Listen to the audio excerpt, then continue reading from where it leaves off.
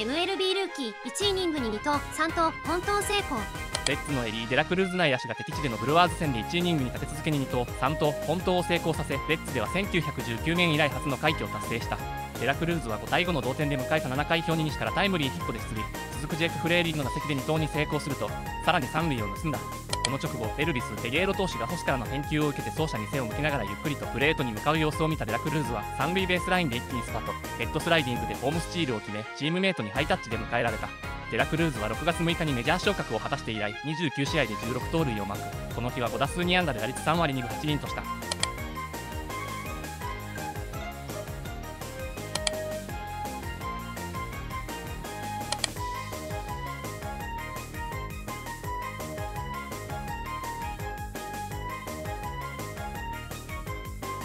バケモンやへえ早すぎやろ。実質ホームランやめちゃくちゃ身体能力化け物に行きサイクル盗塁これって盗塁さんつくんか？つくで。すごいな。ホームスチールすらめったに見えないのに。こんなん見たことねノーヒットでホームランってところか。地味にキャッチャーもすごくない。座ったまま送球する星もまあまあえぐい。キャッチャーの強肩もバケモン漫画ワンナウツでもこんなキャラいたね。アンナッツのジョンソンを思い出した人は多いはず。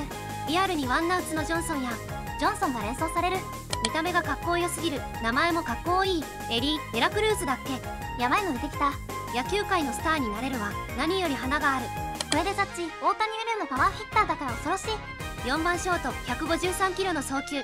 スイッチヒッター。塁に出ればこのスピード。驚異のルーキーや。ルッキーでサイクルも達成して1打席で2投3投本投加えて強肩。長距離砲めっちゃスケールの大きい選手になりそう。